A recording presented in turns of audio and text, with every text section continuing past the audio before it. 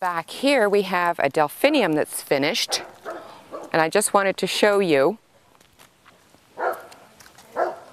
that now that the delphinium is at the point where it's finished, we want to prune it down. We'll get new growth coming from the base and we'll get another round of blooms out of it.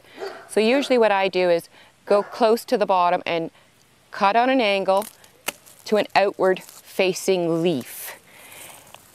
And here this one would be an outward facing leaf.